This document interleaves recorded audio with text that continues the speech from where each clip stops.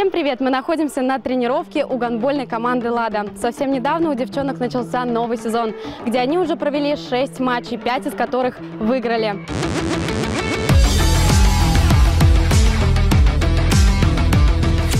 Первый матч нового гандбольного сезона у команды состоялся в городе Кемерово против московского ЦСКА, где девушки приняли поражение со счетом 24-29.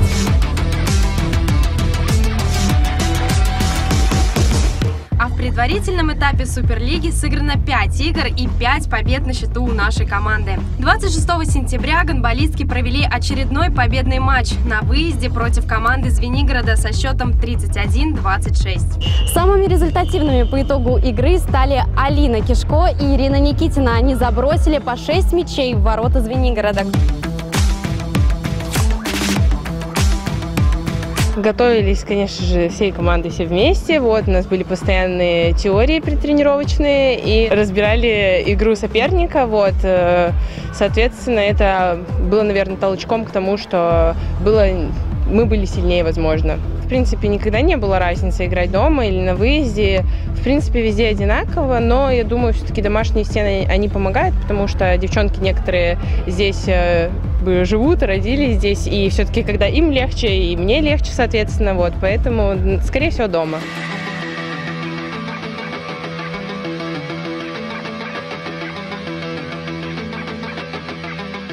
Новом сезоне команду «Лада» пополнили молодые игроки. Об этом и целях на сезон мы поговорили с главным тренером спортсменок. Он приехал из Беларуси и начал тренировать команду с этого сезона. Ну, я сам по себе максималист, и клуб ставит максимальные задачи. Мы не исходим из того, кто у нас есть, мы смотрим и из того, что нам надо. Поэтому задачи всегда максимальные. Кроме первого места больше ничего не существует. Мы сделаем все возможное и невозможное. Что касается самой адаптации, да, здесь будут нюансы перехода с юниорского, с молодежного гандбола во взрослый. Как это будет происходить? Ну, мне видится, что у каждого это будет происходить по-разному. На сегодняшний есть день там обойма из э, 6-8 человек, именно молодых игроков, которых мы подключаем по одной-две игры в чемпионате. Исходя из этого и проводим ротацию. Это первое. Второе, конечно же, смотрим на их работоспособность, на их работу на самой тренировке. Если она конкурентная для той игры, на которую нам предстоит, то этот игрок попадает в состав и выходит на площадку.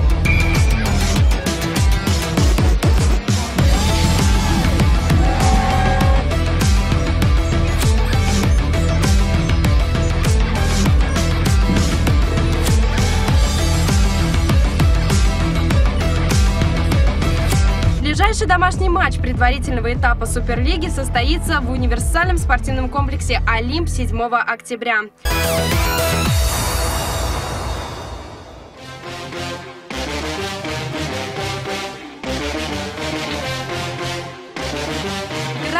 И пластика.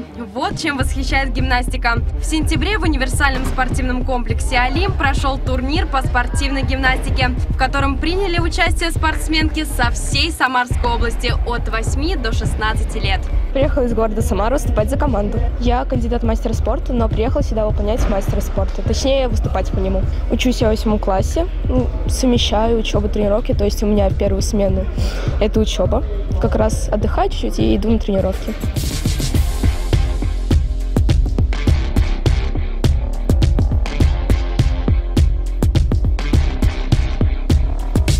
Участие в этих соревнованиях дают возможность гимнасткам повысить свои спортивные разряды до звания кандидатов мастеров спорта. А те, кто займут призовые места, будут отобраны в команду сборной Самарской области.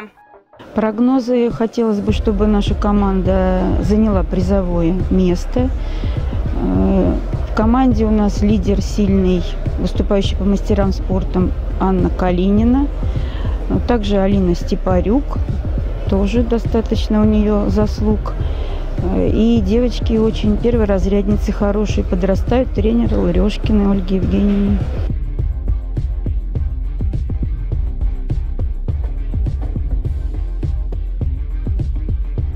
Хочу выступить без падений, постараться и ну, удовлетворительный результат для себя. Я учусь в девятом классе, и нет проблем с совмещением школы и тренировок, потому что я учусь достаточно неплохо, и до тренировки стараюсь тоже делать уроки, и после доделываю, что не успела.